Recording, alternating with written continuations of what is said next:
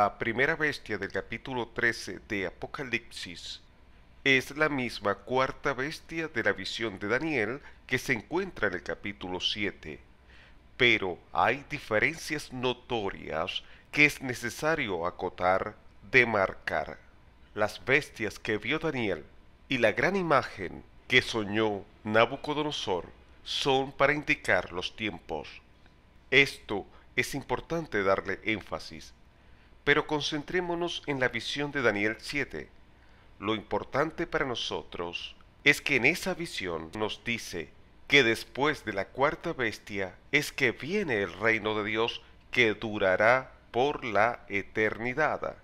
Esa señal nos conviene estar atentos. Eso nos indica tiempo. La segunda característica que nos dice es que la cuarta bestia es diferente a las otras tres. Daniel 7:19. Entonces tuve deseo de saber la verdad acerca de la cuarta bestia que era tan diferente de todas las otras, espantosa en gran manera, que tenía dientes de hierros y uñas de bronce, que devoraba y desmenuzaba y las obras hollaba con sus pies. Cabe mencionar, recordar que la cuarta bestia es el mismo reino de la quinta parte de la gran imagen que vio Nabucodonosor. Los pies que son en parte de hierro y en parte de barro cocido. Aunque a nuestra apreciación nos pueda parecer los pies de la estatua indefensos sin inspirar temor, pues es por ello que es más peligrosa y destructiva. Daniel 2.43 Así como viste el hierro mezclado con barro, se mezclarán por medio de alianzas humanas, pero no se unirán el uno con el otro, como el hierro no se mezcla con el barro. Por ser un reino dividido, causa mayor estrago, mayor destrucción. Acordémonos lo que dijo el Señor Jesús. Mateo 12:25.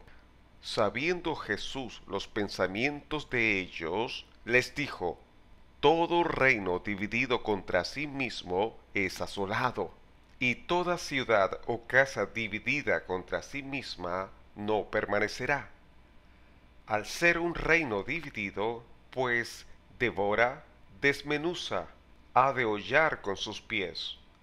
Pero en Apocalipsis no se basa para dar énfasis en el tiempo ni tampoco para diferenciarla de las otras bestias, sino que se basa en dar detalles y características de ella que se requiere para reconocerla y por tanto se le añaden cosas que no están descritas en el capítulo 7 de Daniel, aunque al final la bestia será destruida por el Señor.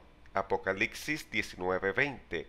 Y la bestia fue apresada, y con ella el falso profeta que había hecho delante de ella las señales con las cuales había engañado a los que recibieron la marca de la bestia y habían adorado su imagen estos dos fueron lanzados vivos dentro de un lago de fuego que arde con fuego y azufre. Luego de ser apresada, viene el reino del Señor. Apocalipsis 21, 22 y 23. Y no vi en ella templo, porque el Señor, Dios Todopoderoso, es el templo de ella y el Cordero.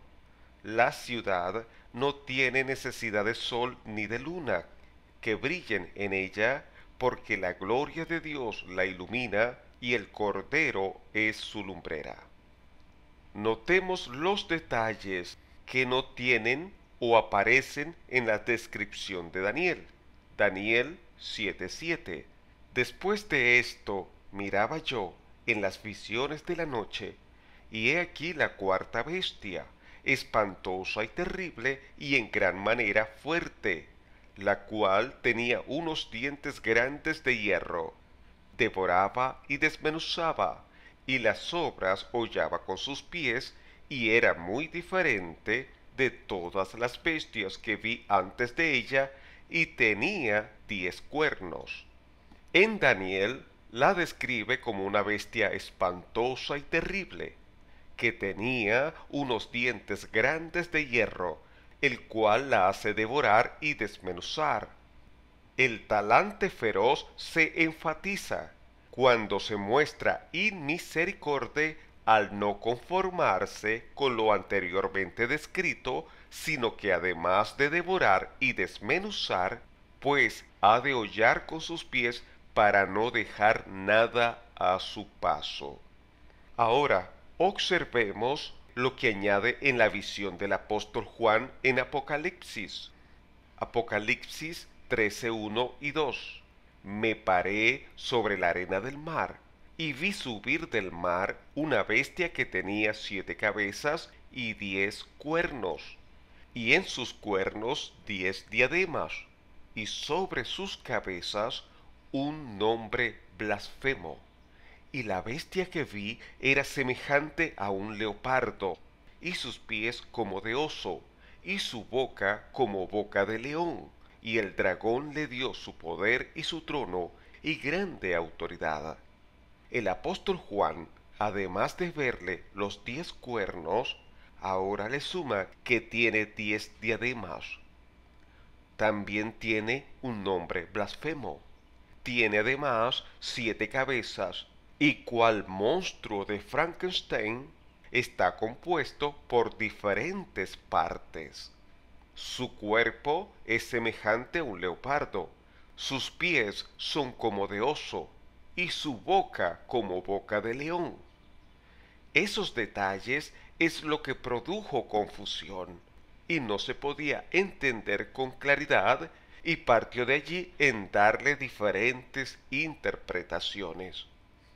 Como el Señor tenía previsto que las profecías de tipo escatológicas se entenderían en los últimos tiempos, todos esos detalles produjeron confusión con el juego de palabras que colocó en el contexto. Como la primera bestia de Apocalipsis 13 es la misma cuarta bestia de Daniel 7, y en Daniel la abordó en un contexto para enfatizar el tiempo y la diferencia de entre la cuarta bestia a las otras tres. En Apocalipsis la afrontó en otro contexto. Ello le dio un giro y es el siguiente. Aunque la primera bestia de Apocalipsis es la misma de Daniel 7, en Apocalipsis no sólo la trata como la cuarta bestia, sino que la engloba, la fusiona con todas las bestias. Ahora, la primera bestia de Apocalipsis son todas las bestias que han existido antes del tiempo del apóstol Juan y la que existirán en el mundo antes de la venida del Señor Jesús.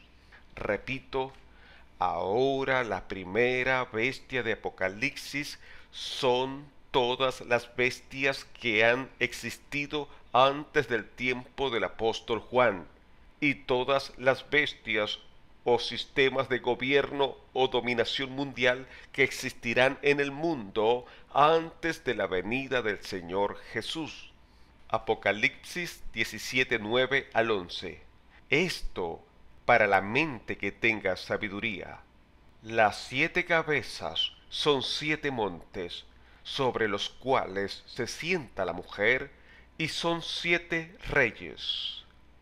Repito, y son siete reyes.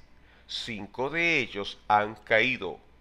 Uno es y el otro aún no ha venido, y cuando venga es necesario que dure breve tiempo.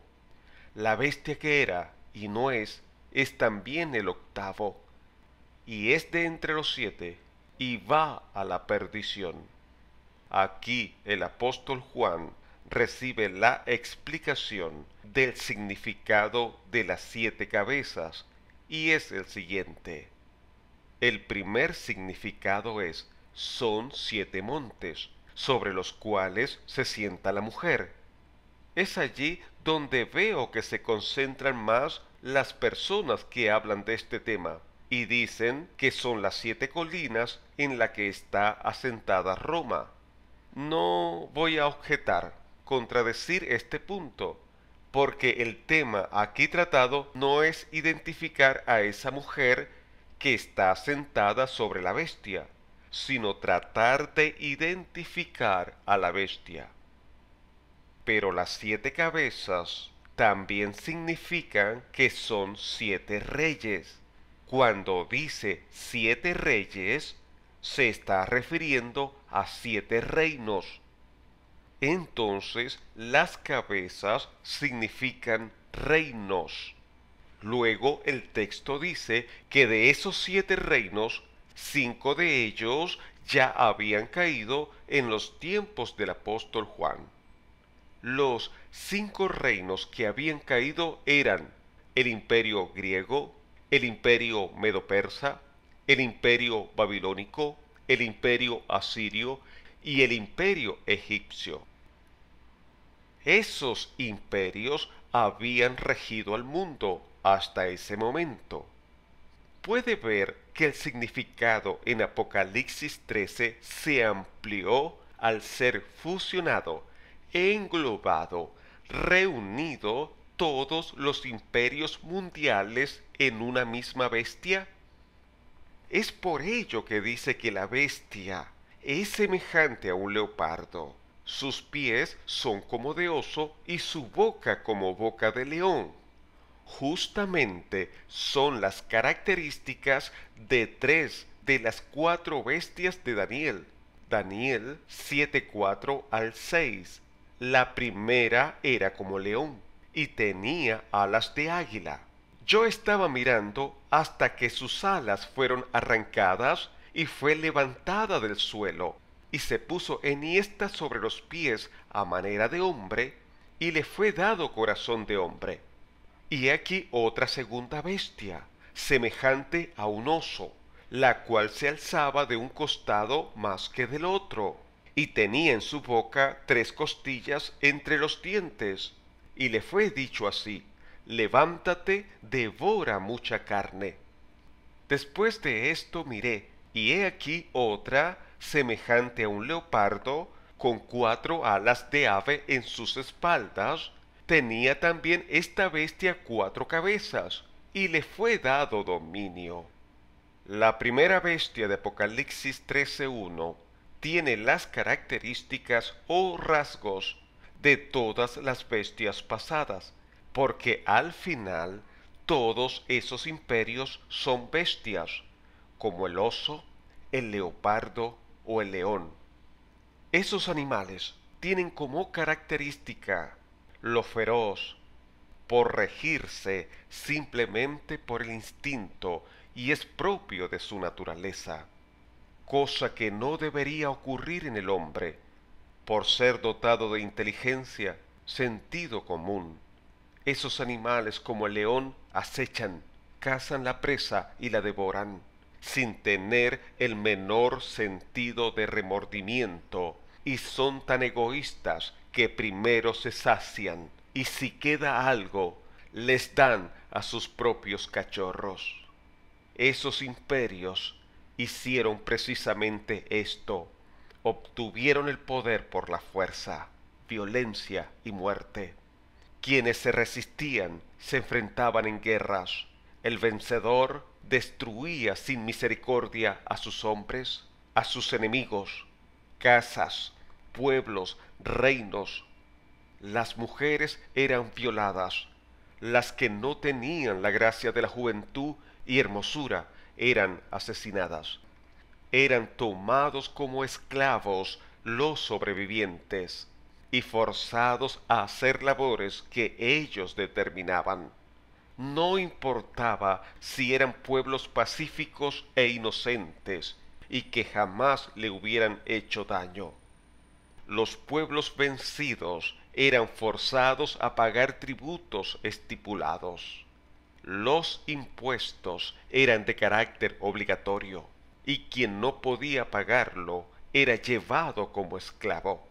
Todos esos gravámenes eran forzosos y para cumplir con la exigencia del imperio reinante no les importaban si los pueblos apenas podían sacar lo impuesto, eran llevados a la miseria. Solo los que ostentaban el poder vivían en la opulencia. Miles de personas esclavizadas murieron haciendo estructuras, edificios, carreteras que esos imperios emprendieron, sin tener más culpa que ser sometidos por el más fuerte. El imperio romano era la sexta cabeza. Cuando dice que una cabeza es herida de muerte, se está refiriendo que una de esas capitales que rige al mundo pierde el poder, pero luego lo recupera. Le explicó, la primera cabeza de la bestia era el imperio egipcio, luego la segunda cabeza de la bestia fue el imperio asirio, la tercera el babilónico, la cuarta el medo-persa, la quinta el imperio griego, la sexta cabeza es el imperio romano, hasta el momento de Juan. Es por eso que sólo una cabeza es herida, porque las cabezas o capitales que rigen al mundo solo pueden estar una sola en el espacio y tiempo. Pero acá, los hermanos protestantes de habla hispana están suponiendo que cuando dice que una de las cabezas es herida de muerte, lo interpretan que significa que una persona, que es el anticristo, sufrirá una herida mortal y vendrá otra persona llamado el falso profeta y hará un prodigio, un milagro de sanarlo. Y luego toda la gente se admirará de tal proeza y alabarán a la persona del anticristo. Pero la segunda bestia de Apocalipsis no es una persona, tiene igual significado que la primera bestia. Es un sistema que rige al mundo. Pero en este caso, es un sistema religioso. Allí, cuando la cabeza de la bestia es herida, es que surge un sistema religioso que hace resurgir la capital del imperio que se había perdido. Ahora vale la pena resaltar que la cabeza que es herida de muerte no es la séptima y octava de la bestia, y le explico el porqué. Apocalipsis capítulo 17, verso 10 y 11. Y son siete reyes. Cinco de ellos han caído, uno es, y el otro aún no ha venido. Y cuando venga es necesario que dure breve tiempo.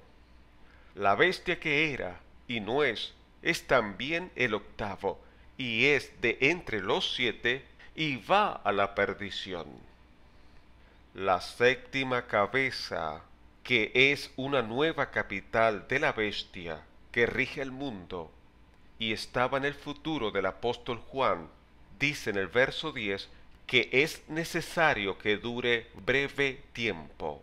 Eso quiere decir que con respecto a los otros sistemas de dominación mundial, sería algo que no estaría tanto tiempo como los otros imperios. Por tanto, esa cabeza no es la que sufre la herida mortal, y tampoco puede ser la octava cabeza, porque después de ella es que viene Cristo. La cabeza que sufre entonces la herida mortal es la sexta, y esa es el imperio romano. La historia puede corroborar este hecho. Wikipedia reseña este hecho de la siguiente manera. Cito, la caída del Imperio Romano de Occidente en el año 476, en que el último emperador romano de Occidente, Rómulo Augustulo, es depuesto por los érulos del rey Odoacro en la ciudad de Roma. La caída del Imperio Romano de Occidente, también conocida como la caída del Imperio Romano o la caída de Roma, fue el período de declive del Imperio Romano de Occidente, en que perdió la autoridad de ejercer su dominio y su vasto territorio fue dividido en numerosas entidades políticas sucesoras. Las pérdidas territoriales irreversibles, no obstante, comenzaron en el 386 con una invasión en gran escala de godos y otros pueblos. El 395 tras imponerse en dos guerras civiles destructivas, Teodosio I falleció, dejando un ejército colapsado y el imperio todavía plagado por godos, dividido entre sus dos hijos incapaces.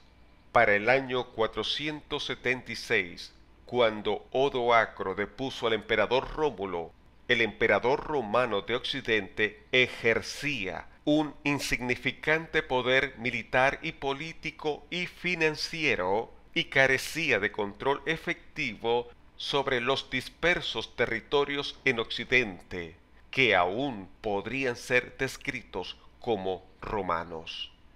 Los invasores bárbaros establecieron su propia autoridad en la mayor parte del área del imperio de Occidente aunque su legitimidad sobrevivió durante varios siglos más y su influencia cultural persiste hasta el día de hoy, el imperio de Occidente nunca tuvo la fuerza para levantarse de nuevo. Fin de la cita. Pero el imperio romano resurgió, revivió, resucitó y volvió a tomar el poder ahora en la figura de un sistema religioso. Apocalipsis capítulo 13, verso 11 y 12. Después vi otra bestia que subía de la tierra y tenía dos cuernos semejantes a los de un cordero, pero hablaba como dragón y ejerce toda la autoridad de la primera bestia en presencia de ella y hace que la tierra y los moradores de ella adoren a la primera bestia, cuya herida mortal fue sanada. La bestia que tiene cuernos semejantes a los de un cordero, es decir, de apariencia religiosa cristiana, pero sus acciones no eran cristianas sino diabólicas, porque dice que hablaba como dragón. Esa segunda bestia ejerce autoridad de la primera bestia, es decir, la que se pone a la cabeza del imperio, pero con visos de piedad, de religiosidad. La historia nos corrobora que cuando el imperio romano de Occidente cayó por las invasiones bárbaras, que eran más de una veintena de tribus, las tribus o clanes más débiles fueron asimiladas o erradicadas por las tribus y clanes más fuertes. A la postre, esas tribus o clanes bárbaras que invadieron a Roma se establecieron como diez reinos que son los francos, los alamanes, los visigodos, los suevos, los vándalos, los burgundios, los sajones, los ostrogodos, los érulos y los lombardos. Y la profecía dice en Apocalipsis 17, 12 y 13, y los diez cuernos que has visto son diez reyes que aún no han recibido reino, pero por una hora recibirán autoridad como reyes juntamente con la bestia. Estos tienen un mismo propósito y entregarán su poder y su autoridad a la bestia. Esos nuevos reinos surgidos de clanes extranjera, le quitaron el poder a Roma. Es decir, la sexta cabeza sufrió la herida mortal. Pero ocurrió algo nuevo. Los bárbaros se convirtieron al cristianismo y era la religión de sus monarcas y el pueblo. Por tanto, respetaron y exaltaron la autoridad del obispo de Roma. Ahora Roma fue sanada, fue restaurada al poder, pero gobernaba ahora en la figura religiosa del papado. La bestia con dos cuernos de apariencia religiosa. ¿Qué significa en cómo se dividió el cristianismo? En el cristianismo católico y en el cristianismo ortodoxo, cuya capital era Constantinopla. Pero la profecía dice además que Daniel 7:20, asimismo acerca de los diez cuernos que tenía en su cabeza y del otro que le había salido, delante del cual habían caído tres, y este mismo cuerno tenía ojos y boca que hablaba grandes cosas y parecía más grande que sus compañeros. De los diez reinos que se establecieron de las invasiones bárbaras, siete eran cristianos católicos y tres reinos eran cristianos arrianos, que fueron los vándalos, los érulos y los ostrogodos. Esos reinos dejaron de existir porque fueron vencidos por los cristianos católicos. Y el cuerno pequeño, que era el poder papal, creció más grande que sus compañeros. El obispo de Roma pasó de ser el líder nominal de la iglesia a convertirse en un poder político que estuvo entre los más influyentes de Europa y en ocasiones no solo estuvo entre los más influyentes, sino que fue el más influyente de todos. Hasta aquí hemos hablado de las seis primeras cabezas de la bestia. Nos queda ahondar sobre este tema e identificar las dos cabezas restantes antes que venga el Señor Jesús. El título del mensaje identificando la primera bestia de Apocalipsis 13 y quien les habló su amigo Omar Duareb.